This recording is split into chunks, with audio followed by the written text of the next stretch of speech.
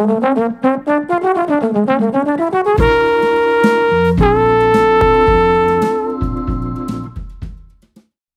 everyone and welcome to today's lesson where we talk about getting started as a trombone player. My name is Shawn Bell. I'm going to be your instructor today. Today we are talking about how you use your air.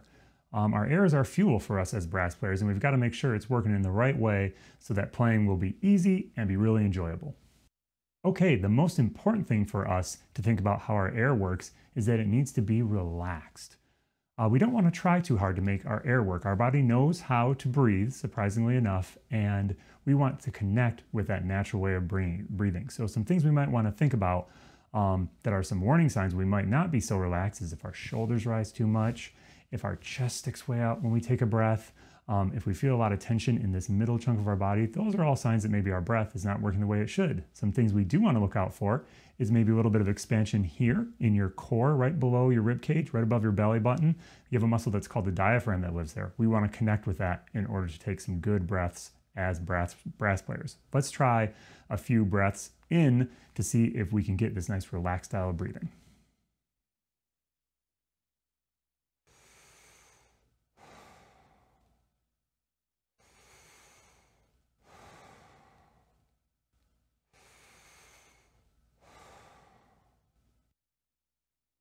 Great, now you see I didn't really try too hard on either of those breaths. They just felt nice and easy. That's what's really gonna lead to success.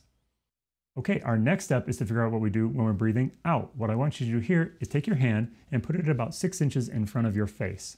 Now first we're gonna breathe out and we are going to create air that is warm like we are trying to fog up a window.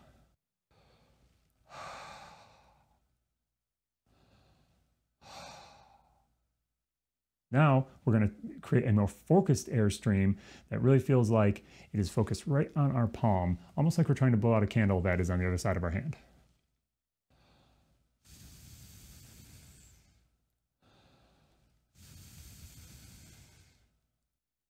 Cool, so you might have noticed that that second breath was a lot cooler than our first breath. That's a little more the type of air that we want to think about for playing a brass instrument. That's what's going to be effective and make playing the most efficient. Okay, we've got our air going in nice and relaxed. We've got our air out going nice and focused and a little bit faster. Um, now let's talk about how we form up our lips, our embouchure muscles to create the right airway um, so that we can play really well. Uh, for this exercise, you're gonna need a pencil and we're gonna use the eraser end. Um, we're gonna put this in between our lips to help us form the airway. What you're gonna do is you're gonna start by saying the word ah, and then you're going to shift with the pencil in between your lips to saying the word mmm. So check this out. Um,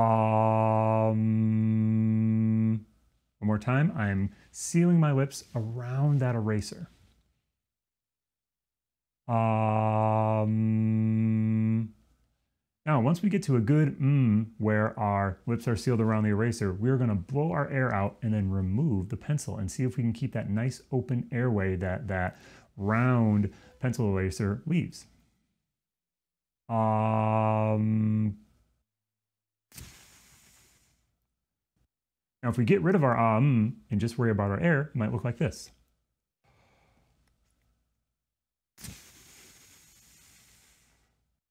That is the type of embouchure we want to think about for playing any brass instrument. Our chin is probably a little bit flat, our corners are a little bit engaged. None of this is too dramatic. I don't have a super, super tight embouchure. Like I'm really trying to close my lips together. That is going to lead to not such a great sound. We should always have that opening that this eraser left. All right, hopefully that gives you some good information about how to get started on how we use our air. It is the most important thing for us as brass players. Please tune in to the next lesson. Hit that subscribe button if you're finding these lessons to be really informative. We'll talk about buzzing and getting the first notes going on the trombone.